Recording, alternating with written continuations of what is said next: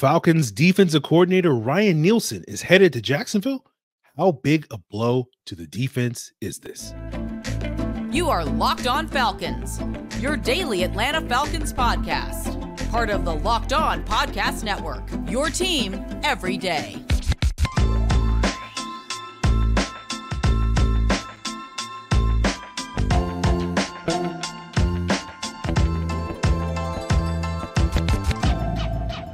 Welcome back, everyone, to another illustrious episode of the Locked On Falcons podcast, your daily Atlanta Falcons podcast, part of the Locked On Sports Atlanta podcast family, your team every day. And today's episode is brought to you by FanDuel. Make every moment more. Right now, new customers get $100 and $150 in bonus bets guaranteed when you place a $5 bet. Just visit fanduel.com slash locked on today to get started. So, guys, if you don't know me, I'm your very humble host, stumbling over the intro to the show, uh, Aaron Freeman. Uh, been covering the Falcons for far too long at FalcFans.com. RIP should you know be getting that right by now since I've said it a thousand times on this podcast. But uh, if you don't know me, you may also know me as Sirius Black. You may also know me as Mr. Drew. You may also know me as Mr. AKA. And of course, uh, appreciate each and every one of you that are everydayers here on this illustrious podcast that make this podcast your first listen, your first watch each and every day.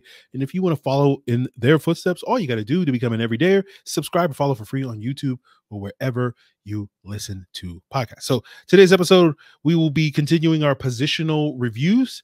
Uh, started with the quarterback position yesterday.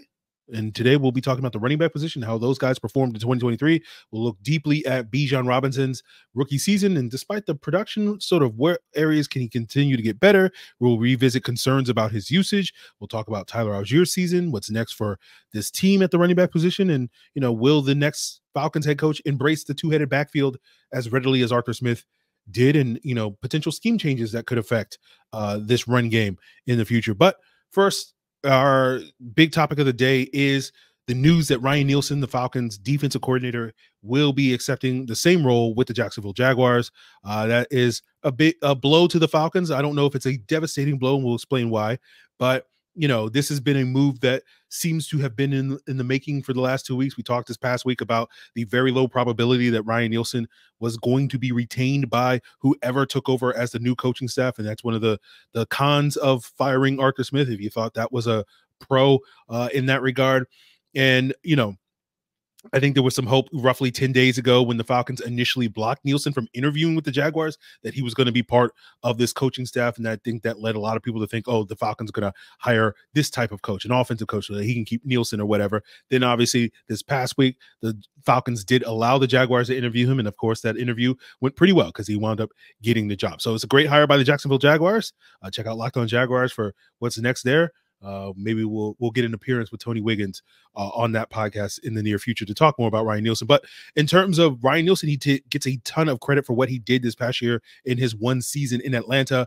Uh, gets a ton of credit for the defensive turnaround, the defensive improvement this past year. Um, now I probably won't give him as much credit as maybe other people will do, just mostly because of my general belief that talent trumps scheme when it comes to defense. I tend to have the opposite opinion when it comes to offense. And so that's why I think this is a blow, but maybe not the devastating blow that some people might look at it as. Now, it's not to sit here and say that Nielsen's scheme didn't really matter.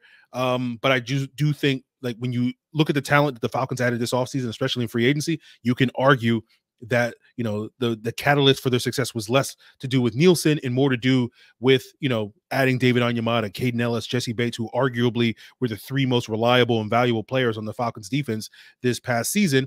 And you know, to Ryan Nielsen's credit and this team's credit, like all three of those guys were great fits schematically in Ryan Nielsen's defense, right? Uh, and you wonder, you know, in those guys' cases as well as others, how great a fit they're going to be in the next scheme. Uh, should that change? Now, I think for the most part, those players are all good enough, and several players on this Falcons defense are good enough to uh, you know adjust to different schemes. And probably the week after the Senior Bowl, we'll get uh, to the defensive positional reviews uh, as we're doing the offense this week. Um, and we'll be by that time we'll probably have an idea on who the Falcons head coach is going to be at that point, and so we can really dig deep in what those schematic changes mean for each individual player and each individual position group. Um, but you know, for instance, take Kaden Elliss. If the new scheme is not asking him to rush the quarterback that much, how much how effective is he going to be? Is he going to be 10, 15, 20% less effective in that scheme as he was in Ryan Nielsen's scheme? Um, and you know, that has a significant impact on how this defense may perform uh, this season and in the future. But we will punt that specific conversation to later this offseason. Um, but you know, the other conversation that we can somewhat talk about today is just exactly how good this defense was under Ryan Nielsen. It was very good. Now, if you listen to this podcast throughout the season, I probably wasn't as high on the defense as other people were when I think you looked at a lot of statistical categories and it people were like, this is a top 10 defense based off of those stats. To me, the eyeball test watching the film was this was closer to a league average defense uh, than, you know, I think people thought. But you know, we saw throughout most of the season in some of those main statistical categories like points allowed and yards allowed, they were top 10 for most of the season until the very end when they gave up over 80 points and, you know, 400 yards each uh, in those final two games against the Bears and Saints. But going into that week, they were sixth in points allowed uh, and ninth in yards allowed. And then they wound up, because of the, those sort of letdown performances at the end of the year, finished 18th in points allowed and 11th in yards allowed. But, you know, that's led to a lot of people for most of the season saying this is a top 10 defense. Now, I didn't look at that because I don't really. Not to say that those stats don't matter. Uh, Dean Pees would definitely disagree with me on the on the points thing, but I tend to look at a more comprehensive look at defense in terms of what stats I look at. And this was something going back to the last time the Falcons were top ten in defense in 2017 and points and yards allowed, and like I think that led to a lot of people then thinking like, oh, this is a great defense on the verge of greatness. And around that time, I kind of heard about something that came from Pete Carroll that you know followed Gus Bradley to Jacksonville and and subsequently Dan Quinn here in Atlanta, and sort of like six metrics to uh, measure defensive performance. And I, I think this is a better way of looking at it than just looking at points and yards. Right, the six ways that you want your defense to do is you want them to stop the run. Number two, affect the quarterback. You know, get after the passer right? Limit explosive plays. Number three. Number four, create turnovers. Number five, get stops on red zone. And number six, get stops in the red zone. And there's many different ways that you can measure those six different areas. Like, for example, affecting the quarterback. Do you look at sacks? Do you look at pressure? You know, I tend to look at sacks. So for me, I'm going to look at six stats. I'm going to look at run defensive DVOA. I'm going to look at sack rate. I'm going to look at, you know, number of 20 plus yard plays allowed for the explosive plays. I'm gonna look at the percentage of drives that ended a turnover for turnovers, third down efficiency, red zone efficiencies. Those, those, are pretty standard. So in run defense, the Falcons were 11th in run defense of DVOA this past year, which is a good run defense. Now, if you look at other metrics like expected points added in run defense, they were like in the top two. Um, but pass affecting the quarterback, they were 19th in sack rate, and that's a massive improvement from where they were the previous two years, which they were dead last in both 21 and 22 in sack rate. Now, explosives, they were tied for 18th in the most number of 20 plus yard plays allowed. Turnovers, they were 28th in the NFL. Third down, they were third in the NFL. In red zone, they were fourth in the NFL. So, you know, not to say that this is the way that you do it, but if you were to average those rankings across those six metrics, that would average out to be the 14th ranked defense, right? So that, you know, not saying that that's what my opinion is based off of, but that kind of matches my eye test in terms of they were probably closer to league average in the top 10 defense. Now, if you did the same thing for last year's defense and average their ranking, they would have been 25th. So again, credit goes to Ryan Nielsen for massive improvements. And you can look at individual aspects and looking at what Ryan Nielsen's impact on this defense, like the pass rush, right? Like throughout the season, we said, eh, this pass rush is not, it's better than it was, but it's not very good. Um, you know, but when charting the defense throughout the season, it was like when they were dialing up pressure, when they were manufacturing pressure, whether that's blitzes, whether that's stunts, and they were able to get more effective pressure than just simply relying on four man rushes, right? And just asking the, the four down guys to get after the quarterback.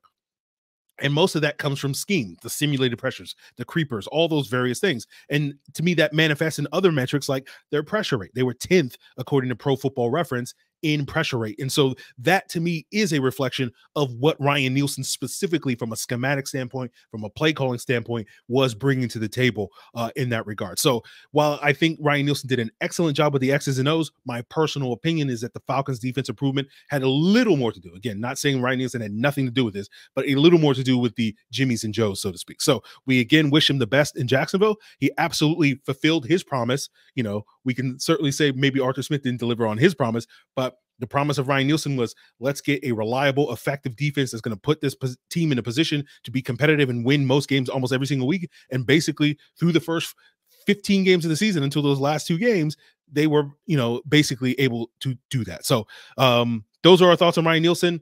We will, you know, the, the coaching update uh, before we turn our attention to the running back positional review is uh, it was confirmed on Sunday evening. We talked about this on yesterday's episode that Ben Johnson did interview for uh, doing that initial interview, and that was important to get that done on Sunday because the basically the rules prohibited that if the Falcons didn't interview him on Sunday, they would have had to wait until after the Lions season is over. And while the Lions are not expected to win next week in the NFC Championship game against the 49ers, in a world where they did, they wouldn't be able to talk to Ryan uh, to Ben Johnson, I'm sorry, until after the Super Bowl, right? In that circumstance. And so now that they got that done, if the Lions should win this week against the 49ers and do go to the Super Bowl, then they will be allowed to do a second interview with Ben Johnson the week after the uh the week leading up to the Super Bowl, right? So it's basically a full week before that they could talk to him. Right now, obviously, if the Lions lose this week, then they'll still be able to talk to him that same week. But that was an important thing to do. Obviously, the Falcons still have you know many second interviews set up this week, and that may affect their timeline for when we might get an announcement for who the Falcons coach is, but that will be a conversation that we'll punt to tomorrow's episode in all likelihood. So make sure you continue to make us your first listen tomorrow on the podcast so we can get into more of that and who they're targeting on those second interviews and whatnot. But Today's episode, we'll continue talking about the running back position. We reviewed Ryan Nielsen's defense. We'll review the running back position. We'll look at Bijan's debut season. Did he live up to the hype? In some ways, yes. In some ways, no. We'll break it down as we continue today's Locked On Falcons. Now, the NFL season is wrapped. The playoffs are still going on, and there's still time to get in on that action at FanDuel, America's number one sportsbook. Right now, new customers get $150 in bonus bets guaranteed when you place a $5 bet. That's $150 in bonus bets, win or lose. You got to love FanDuel. The app is easy to use. There's so many different ways to bet over, under, spreads, player props, you know, Super Bowl picks. You know that the Super Bowl props are going to be there, right? You got same game parlays. You can find new bets in the Explore tab, uh, make a parlay bet in a parlay hub. That's a way to find popular parlays so that you can bet a little and win a lot. So all you got to do is visit fanduel.com slash locked on and you can make your first bet a layup. FanDuel is an official partner of the NFL. So, continuing today's Locked On Falcons, guys, I want to plug the Locked On Sports Today 24 7 streaming channel here on YouTube, the first of its kind, giving you all the biggest stories across all the biggest sports, across, you know, the the number one planet in our in our galaxy, which is the planet Earth. Um, you know, and if you're, you know, shrinking down to a little more local level, check out Locked On Sports Atlanta's 24-7 streaming channel here on YouTube, as well as all part of Locked On Podcast Network, your team every day. So let's continue with our positional reviews looking back at the 2023 season. We talked about quarterbacks yesterday. We're talking about the running backs today. And you know, I think something I mentioned on yesterday's episode is, you know, Bijan had an excellent rookie season but it did feel like you know some meat was left on the bone, right? His projection, his production was not far off my projections, right? I figured he'd be roughly a thousand yard rusher, roughly a 500 yard receiver, and he basically finished like a few dozen yards shy of both of those benchmarks. And I think a lot of people went into the season expecting those numbers to be much higher, you know, and we'll talk about some of the reasons why that was uh, a little bit later. But it's funny to me because I was like going into this episode, like, oh yeah, we talked about Bijan leaving some meat left on the bone, and I realized no, we didn't talk about that during the season. That's a conversation that we had specifically about Kyle Pitts after his rookie season. That exact phrasing of Pitts had this great season, but it still felt like meat was left on the bone after his rookie season, and most of that was due to despite his historic production as a receiver in terms of yards as a rookie, Kyle Pitts. That is, you know, we did not see the impact in the red zone for Pitts' re, uh, rookie season, and so you know, I think that's a contributing factor to why so many were down on Arthur Smith. It feels like this has been a consistent through line with some of these high level prospects in, in terms of not maximizing his weapons. Again, you know, I probably don't feel like it's as simple as people make it out to be, but it is what it is. So, you know, I think a lot of that is pushed by the fantasy football community, right? You know, a lot of that led to a lot of people complaining about Bijan's usage or not getting the ball enough. And I thought that was you know, overrated. We discussed that during the season, especially when that sort of be- came into a frenzy after the Vikings game. Um, you know, I said then that Bijan's usage or lack thereof to me was one of the most overblown stories. I think there was only two games, in my humble opinion, where you could legitimately complain about usage, Bijan's usage. The first one was the the first Bucs game that he basically didn't play due to a migraine, and the second one was the um, second Panthers game where I think that was legit because the Falcons ran the ball a bunch on early downs in that game, and, and Bijan was rarely one of the players getting those carries in those situations. Um, you know, and I always try to be empathetic and understanding of other people's perspectives, but this is one that I just continue butt heads, especially with the fantasy football folks, because our priorities are just sort of different. And it especially frustrates me, I think, specifically because we did an episode in mid-July, right? And I'll try to link to that episode in the description below. But you know, basically we talked, I, I did a whole, or not a whole episode, but the first part of an episode, like 10, 10 12 minutes, talking about why Bijan wasn't going to live up to the fantasy hype, right? He was being drafted as the RB3. And I basically uh, said he was probably going to have projection in production closer to RB10. Um, and I think he wound up finishing RB12 this past year. And I even threw numbers out in that episode that looking back on were like like 90 to 95% accurate of how it played out. Um, and so, you know, the prophet strikes again, but I'm so humble. But you know, it, it was especially frustrating because on that episode, I basically said this is going to be an issue for fantasy folks. This is going to be an issue for Falcon fans. They're going to be in shambles over this issue, and it's going to lead to people calling for Arthur Smith's job. And that proved to be prophetic. Um, and you know, I see you know, and and this is why like I recognize I'm being unfair, and it's like the way I kind of see it is like you're all idiots for falling into the trap, right? It's like there's a trap right there, and it's like what trap? And it's like that trap right there, and it's like oh, I fell into the trap, and it's like someone help me, and I'm like, why did you fall into the trap? But that's just kind of how I feel about it. But you know, I think when it comes to Bijan, the one thing that you can say um, was a little underwhelming was not his usage, in my opinion, because um, I think as a runner, you know, Bijan played very well, even if the production wasn't quite to the level that we thought it would be in terms of consistency and uh, being that you know dynamic explosive runner that's breaking you know 40 50 yard runs every single week. And again i think a lot of that's owed to the blocking which is a conversation that we may get to at the end of this week uh, when we break down the offensive line um, but I think where he was a little underwhelming this season, performing under expectations, was in the passing game, right? You know, looking at it as a pass catcher, looking at a route runner, looking at a blocker. Now, the blocking I think was a little rough the first like six or seven games of the season, and then it improved in the second half. So I'm not too worried about that moving forward. Drops were an issue at times. I think some of that had to do with Bijan, you know, seemingly a couple of times posing for the cameras, trying to make these highlight reel grabs with like one hand instead of just, hey man, my guy, just be normal and put two hands on the ball. Um, and that kind of speaks to a larger ball security issue that was a problem for Bijan this year, where you know he had one of the higher fumble rates in the NFL among the top running backs. Um, and the timing of those fumbles were particularly problematic because they always seemed to kind of swing the momentum back in the in the opposing team's favor, and, and that led to the Falcons losing some of those games. Um, and I, I, expect that's something that he will work on this offseason. So hopefully that will be better. But another thing I think he needs to work on this offseason is the route running, right? I thought maybe he needed to be a little bit more, have a little bit more attention to detail. And given his role at Texas, that was minimal, like in terms of what he was asked to do as a route runner. Like we probably should have expected such a learning curve on that end. Um, but it was, I think it was kind of problematic for the Falcons because there was a large chunk of the season where the Falcons were kind of designing plays for Deep Bijan as their go-to guy on third downs. And I don't think he stepped up enough reliably in those instances and and that led to some of the struggles that the Falcons offense had. Now, um I think all that kind of contributes to why despite a good rookie season um just objectively he kind of felt a lot of meat left on the bone. I think some of that is owed to the hype that he was getting which probably I was contributing to and I think a lot of people went into the year sort of thinking, you know, he's going to instantly be Christian McCaffrey rather than understanding, and again, this was something we talked about in that July episode, that like Christian McCaffrey wasn't Christian McCaffrey day one in the NFL, but I think there was high expectations that Bijan would be kind of that like elite running back right away. And there were moments where he looked like that player, but it wasn't consistently throughout the season. And you know, it's going to be interesting to watch in the years to come as Bijan continues to grow and develop. You know, there's going to be that revisiting that conversation. Oh, you know, Bijan's going to be a much better player, hopefully, in the in the years to come. People are like, "See, I told you Arthur Smith didn't know how to use him." And it's like, all right, well, it's probably more of that has to do with his success in the future. Is going to be less with how he's used and just him being a better player overall. Now, talking about Tyler Allgeier Um, I think he had a solid year.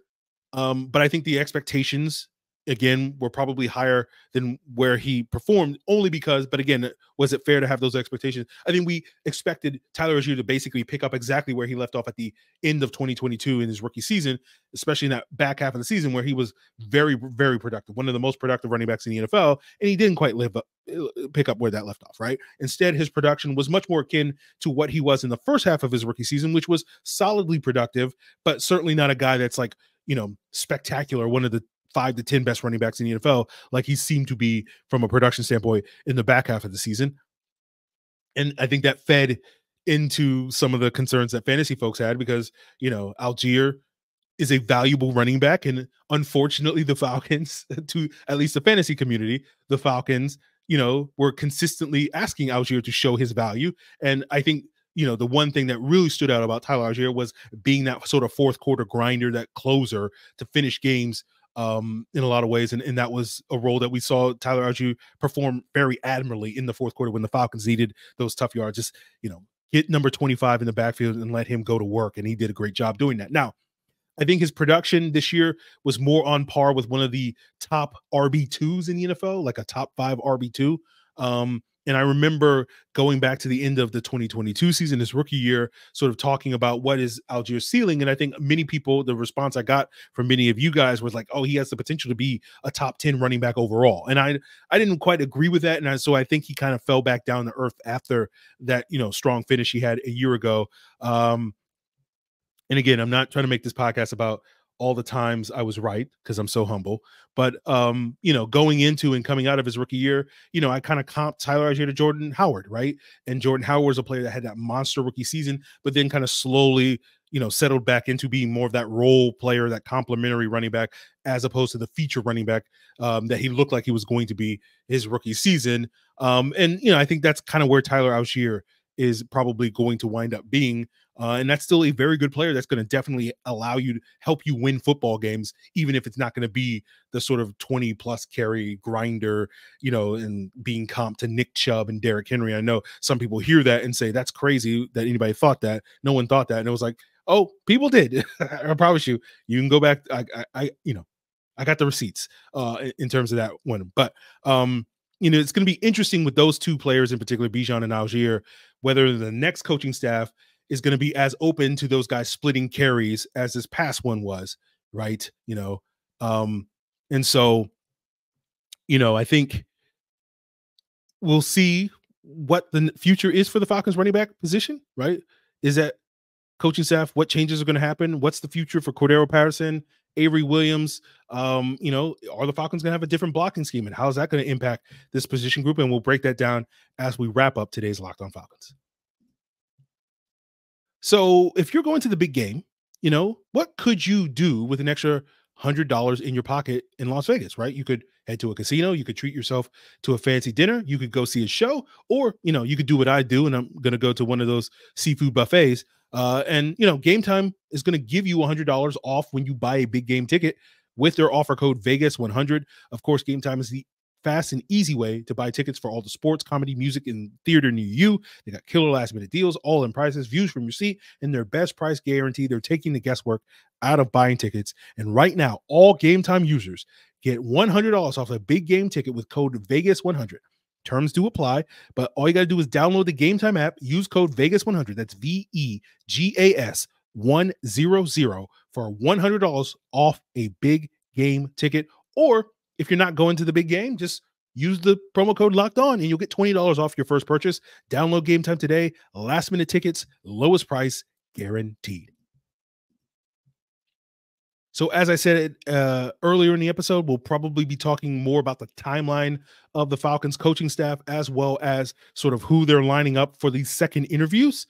Um, you know, on tomorrow's episode, we'll also probably be reviewing the wide receiver position, assuming that, you know, we have enough time to do that.